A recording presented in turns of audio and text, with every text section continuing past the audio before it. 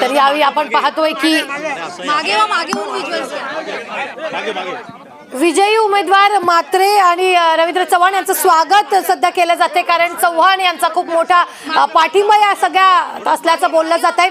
आणि या सगळ्यांमध्ये जर आपण पाहिलं तर मात्रे यांचं स्वागत यावेळी केलं जात आहे. मात्रेंचा विजय जो आहे तो झालेला आहे. कोकण शिक्षक मतदारसंघात मात्रे विजयी झालेले आहेत. आणि त्यानंतर बाळाराम पाटलांचा पराभव झालेला आहे. या संदर्भात ताजे अपडेट देतात आपला प्रतिनिधी आकांक्षा. आकांक्षा काय ताजे अपडेट?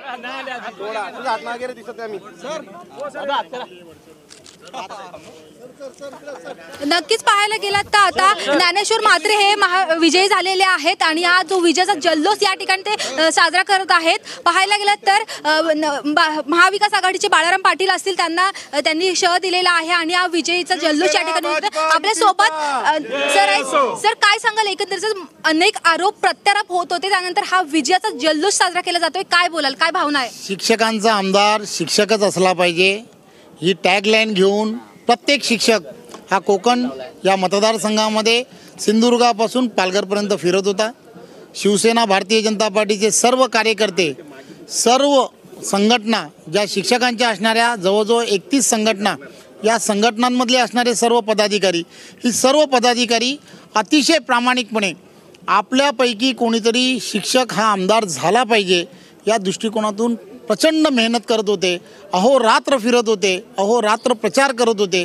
आणि त्यामुळेच हा विजय ज्ञानेश्वर म्हात्रे यांचा झाला. आहे आणि खात्री आहे की या सर्व कोकण असेल किंवा महाराष्ट्रातील असणाऱ्या सर्व शिक्षकांचे असणारे छोटे मोठे प्रश्न असतील ह्या प्रश्नांना खऱ्या अर्थाने या अगोदरी शिक्षकांचे असणारे शिक्षक जे आमदार झाले त्यांनी न्याय देण्याचा प्रयत्न केला आहे आता पुन्हा एकदा ज्ञानेश्वर म्हात्रेसुद्धा त्याच पद्धतीने या सर्व शिक्षकांच्या प्रश्नांना न्याय देतील. महाविकास महाविकास आघाडीचे जे उमेदवार होते बाळाराम पाटील त्यांनी म्हटलं होतं की शिक्षक आहेत जे मलाच निवडून आणतील कारण त्यांचे प्रश्न सोडवले आहेत मात्र त्यांचा तो दावा आता फेल झालेला आहे. त्याबद्दल काय बोलाल? आता आपण नवीन आमदार नवीन पर्व सुरू झालेलं आहे. ज्ञानेश्वर म्हात्रे येणाऱ्या काळामध्ये शिक्षकांच्या प्रश्नासाठी कशा पद्धतीने काम करतायत हे येणाऱ्या काळामध्ये शिक्षकांच्या लक्षात येईल. महाविकास आघाडीचे नेते बोलतात का कुठेतरी भाजप या निवडणुकीमध्ये दबाव टाकण्याचा प्रयत्न करत आहे त्यामुळे त्यांचा निश्चित विजय होऊ शकतो. तर त्यावर काय बोलाल? विजय झाला आहे मॅडम. ते असं बोलत होते. विजय झालेला आहे.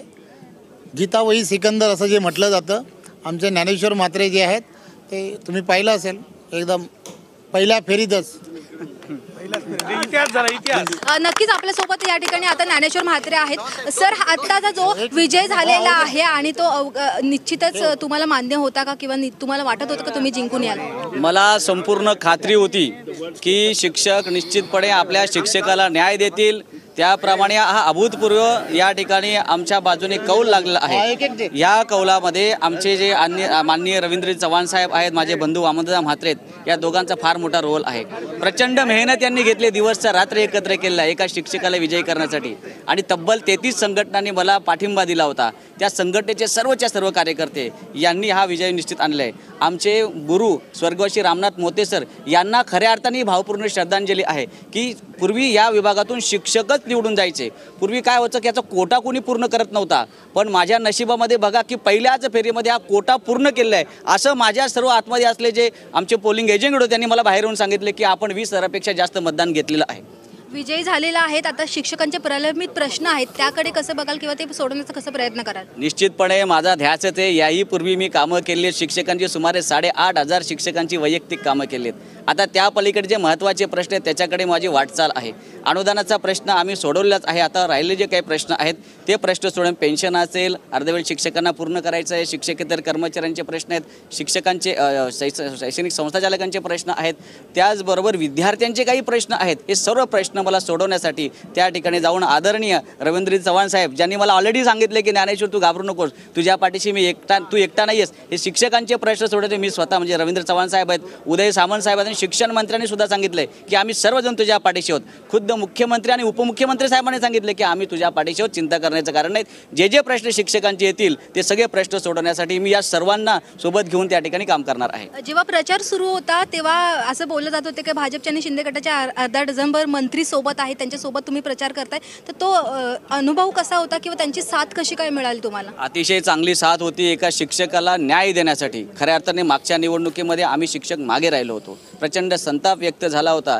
ज्या माणसाला लोकांनी निवडून दिलं होतं त्या माणसाला लोकांनी पाहिलं नाही. असं शिक्षकांचं माझं मत नाही. आज शिक्षकाने सांगितलं की आम्ही सहा वर्षे शिक्षक पा- आमदार कोण आहे आम्हाला माहीत नाही असं सगळ्यांचं म्हणणं होतं. आणि प्रचंड संताप हा शिक्षकांचा निर्माण झाला होता. आणि त्या संतापाची लाट तुम्ही आज या मताधिक्याने पाहिलेली असेल की सगळे शिक्षक एकच म्हणत होते की शिक्षकांचा आमदार हा शिक्षक पाहिजे. नक्कीच या ठिकाणी आपल्यासोबत त्यांचे परिवार देखील आहेत त्यांची मुलगी या ठिकाणी आहे. काय सांगशील? बाबा विजयी झालेले आहेत. कसा अनुभव आहे? कसा आनंद व्यक्त करशील? अ, मला खूप प्राऊड फील होतं आहे की लाईक त्यांना म्हणजे एवढं त्यांनी लोकांची कामं केली. म्हणजे लाईक आमच्यासाठी मोस्टली टाईम नसायचा. बट मला नेहमी ही गोष्ट चांगली वाटायची की अ, कोणासाठी काहीतरी चांगली गोष्ट करतायत. आणि मी आज खूप हॅपी आहे की I am so proud of him that की ते असं एम एल एच्या इलेक्शनसाठी उभे राहिले आणि आज त्यांचा आज विजय झाला आहे मला खूप प्राऊड फील होतं तरी इमोशनल मुवमेंट आहे तुझ्यासाठी? हो शो हंड्रेड पर्सेंट खूप. नक्कीच तुम्ही पाहू शकता की या ठिकाणी अ, जे ज्ञानेश्वर म्हात्रे ते विजय झाले आहेत त्यांच्या परिवाराने देखील आनंद व्यक्त केलेला आहे.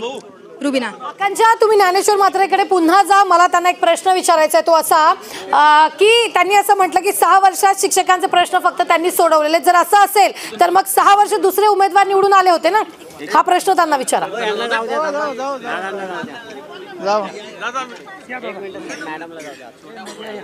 रुबिना मला ऐकायला नाही आलं. काय बोलली तू? जर सहा वर्षापासून शिक्षकांची कामं होत नव्हती? आवाज येतोय माझा?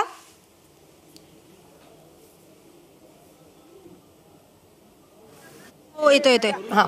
सहा वर्षापासून जर शिक्षकांची कामं होत नव्हती असं त्यांनी म्हटलेलं आहे यावेळेला तर मग सहा वर्षापासून अ, शिक- इतर शिक्षकही त्यांनाच तर निवडून देत होते. अरे काउंटिंगला आपले सगळे खाली आले. काउंटिंग कोण बघते की नाही वर? हा? झालं नाही पुढचं चालू राहील ना अजून. बोललं सर ऑफिसमध्ये एक प्रश्न आहे की सहा वर्षांपासून तुम्ही बोलताय तर कामं ही केली नाही शिक्षकांची कामं जर बाळाराम पाटील यांनी केली नाही तर सहा वर्षांपूर्वी त्यांनाच निवडून दिलेलं होतं शिक्षकांनी त्यांची कामं केली पूर्ण केली बघा मागच्या वेळेला काय झालं होतं की आम्ही या ठाणे जिल्ह्यातून मी स्वतः असेल रामनाथ मोते सर असतील आणि कडू सर असतील आम्ही तीन कॅन्डिडेट एकाच मताचे एकाच संघटनेचे उभे राहिलो आणि त्यामुळे आमच्यामध्ये मतांचं विभाजन झालं. आणि मग त्यांना रायगड जिल्ह्यातून जे मतदान मिळालं त्यामुळे ते विजय झाले होते. हे खरं कारण होतं बाकी काही कारण नव्हतं. मात्र आता त्यां- तुम्ही असा आरोप केलेला आहे की त्यांनी प्रश्न सोडवलेच नाही? त्यामुळे त्यांचा पराभव झाला. मात्र सहा वर्षांपूर्वी त्यांनी प्रश्न सोडवले म्हणून शिक्षकांनी त्यांना निवडून आणलेला असं देखील बोललं जात आहे. हे बघा आता माझं मत नाही हे शिक्षकांचं मत आहे. कोकण विभागातल्या शिक्षकांचं मत आहे की आम्ही अजून आमदार बघितलेलाच नाहीये असं त्यांचं म्हणणं होतं. हे माझं मत नाहीये. हे सगळं शिक्षकांनी सांगितलं की आम्ही आजपर्यंत आमचे विद्यमान आमदार पाहिलेले नाहीत.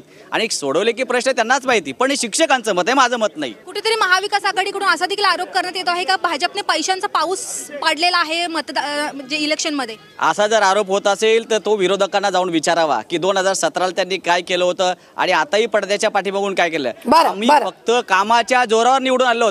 निवडून आलोय म्हणून हे असं म्हणतात. बरं. असं हे आरोप ते मुद्दाहून करतात की आता विजय कोणाचा झाला आमचा झालाय. त्यांच्याकडे आता सांगायला कारण नाहीये. म्हणून हा हे कारण ते पुढे करतायत. निश्चित. निश्चित आकांक्षा खूप खूप धन्यवाद. आम्ही वेळोवेळी तुमच्याकडून या संदर्भातले ताजे अपडेट जे ते घेत राहणार आहोत.